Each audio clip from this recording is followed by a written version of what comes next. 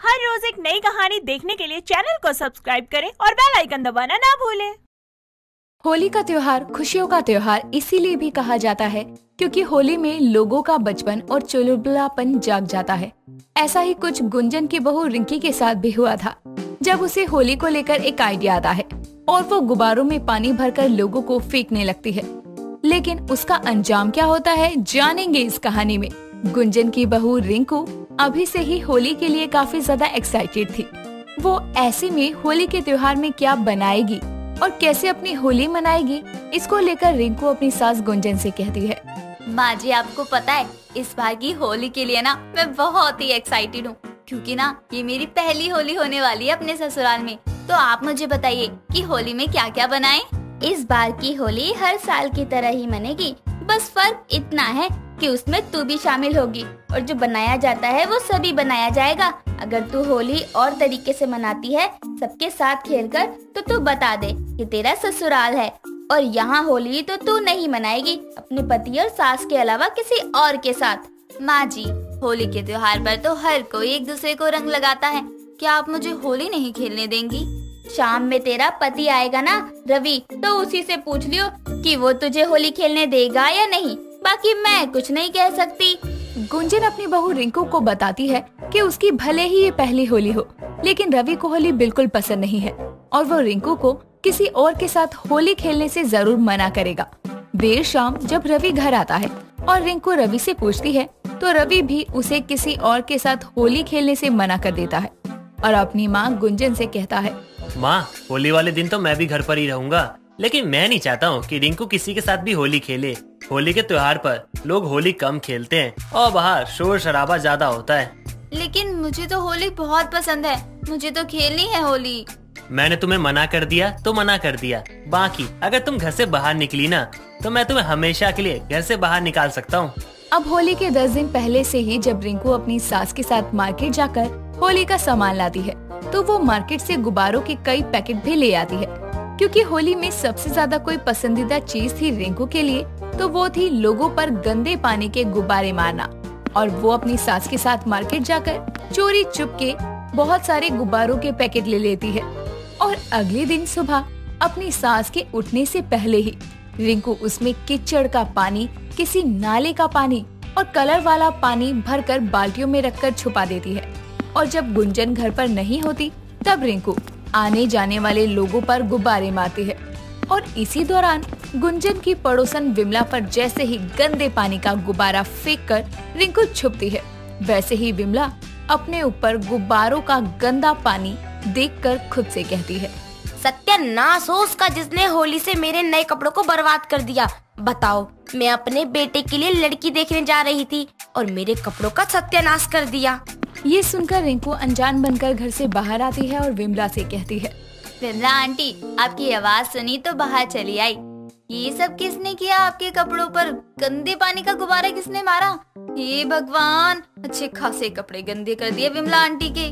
देखना जरा बहू, मैं अपने बेटे के लिए रिश्ता देखने जा रही थी। और ये देख, किसी कलमुहे ने मेरे कपड़ों का सत्यानाश कर दिया।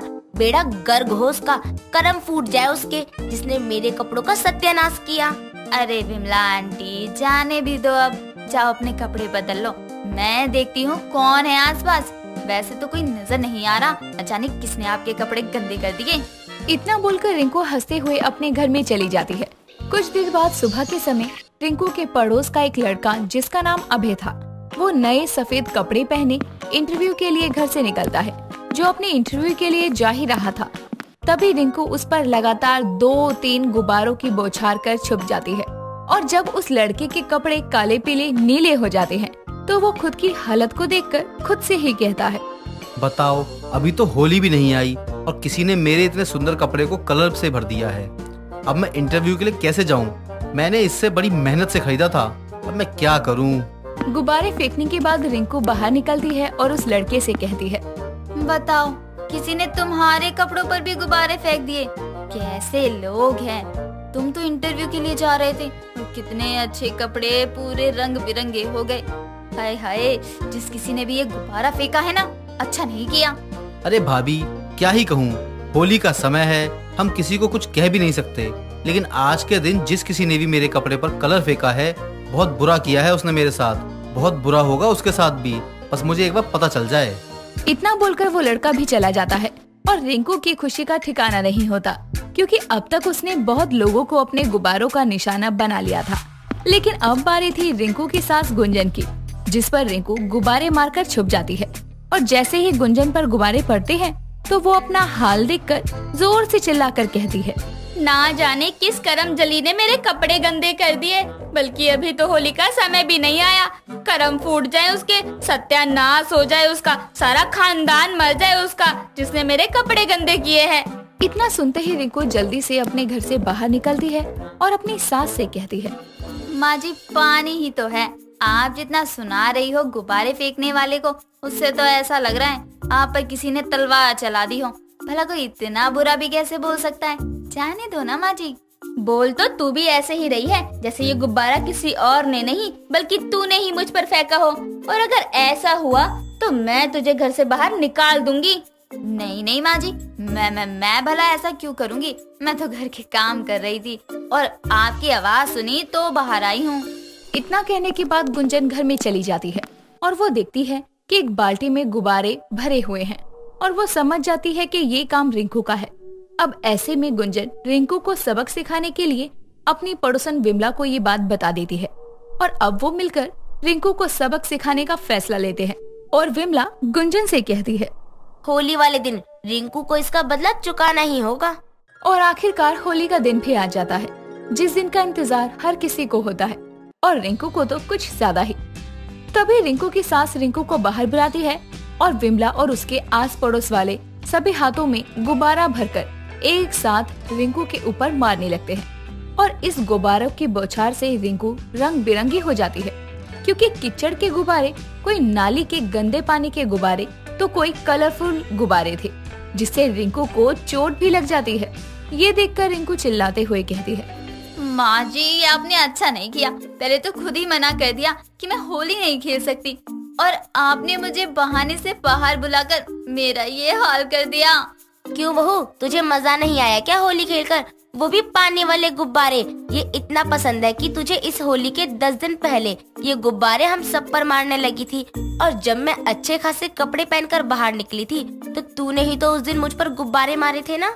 नहीं नहीं नहीं, आंटी जी कैसी बात कर रही हो आप? भला मैं क्यों गुब्बारे मारूँगी आपको? मैं मैं तो सबका भला चाहती हूँ, लेकिन मेरा भला कोई नहीं चाहता। ये लो बहू, मेरी तरफ़ से भी गुब्बारों की बौछार, क्योंकि उस दिन तूने ही मेरे ऊपर गुब्बारे फेंके थे, और ना सिर्फ़ मेरे ऊपर, बल्कि ये तमाशा तो कई दिन से कर रही है, और अभय के ऊपर भी तूने ही गुब्बारे फेंके थे, जो उसकी ड्रेस खराब हो गई थी। बुरा न मानो, होली है, इसलिए तो मैंने ऐसा किया था। अब जब आप लोग तो बुरा मान गए तो भला मैं क्या कर सकती हूँ इसमें? इतना सुनने के बाद विमला गुंजन और आस पड़ोस के कई औरतें रिंकू पर गुब्बारे फेंकने लगती हैं और उसे गुलाल भी लगा देती हैं। और जब रिंकू सबको चिल्लाते हुए ये बोलती है मुझे तो छोड़ दो मुझे जाने दो। मुझे गुब्बारों से चोट लग रही है। मैं आइंदा से ऐसी हरकत नहीं करूँगी। मुझे इस बात का बहुत पछतावा है। जो मैंने किया वो गलत था। तो बहू, तू भी बुरा ना मान, क्योंकि आज तो होली है। और होली के दिन तो गुब्बारों की बौछार तुझ पर होगी ही, क्योंकि तुझे गुब्बारे लोगों पर फेंकना जो बहुत पसंद है।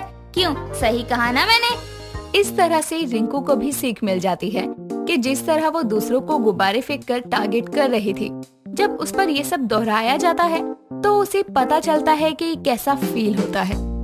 दोस्तों, अगर आपको ये कहानी पसंद आई तो इसे लाइक करें शेयर करें और कमेंट करके बताएँ कि कहानी में आपको सबसे अच्छा क्या लगा।